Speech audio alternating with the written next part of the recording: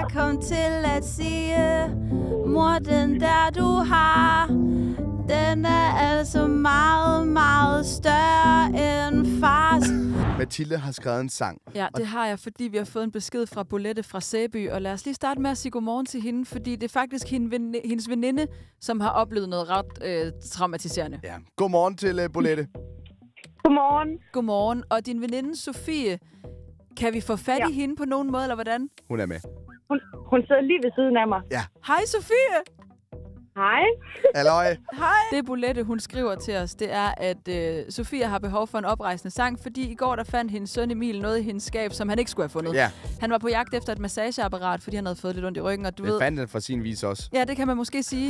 Øhm, Ja, Bolette, der kommer din sang øh, til Sofie, øh, fordi hendes søn Emil har fundet noget meget, meget stort i hendes skuffe.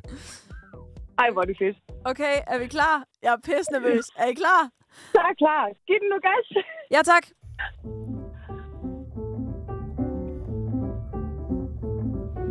Emil går jeg og hedder, og jeg er 10, så jeg kan være alene, når jeg har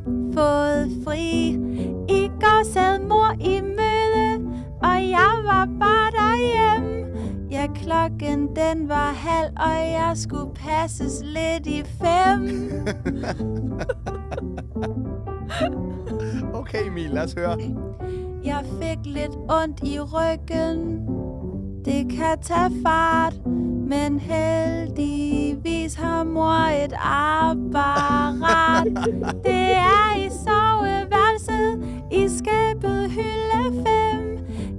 må godt selv gå i det og helt selv tage dyret frem. Oh, ja.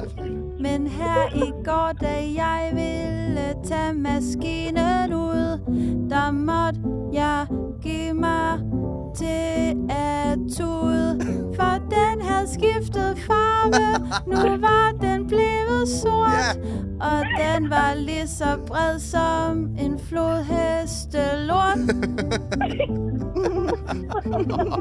En ordentlig swabber, du. Jeg skyndte mig at ringe til min mors veninde. Hun sagde, Emil, læg du bare øh, den der ind igen. Jeg sagde bare rolig, Den bare så dejligt bag på hele ryggen.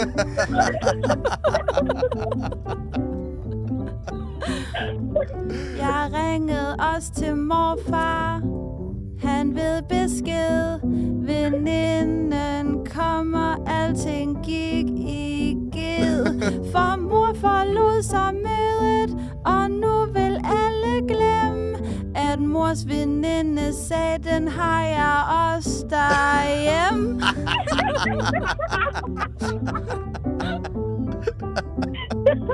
Og jeg kom til at sige, mor, den der du har, den er altså meget, meget større end fars. Men næste gang det smerter, har mor nu gjort noget smart. Ja, jeg har fået mit helt eget massageapparat. Hvor er det godt. Åh, oh, Mathilde, det var fremragende, det der. Fremragende. Du får sgu lige en, øh, du får sgu lige en klapsalve her, lytte Mange tak, og tak fordi, at, øh, at du skrev ind til os, Bolette. Jeg håber ikke, at nogen er blevet traumatiseret af det her. Måske lidt mig selv, faktisk. Fantastisk.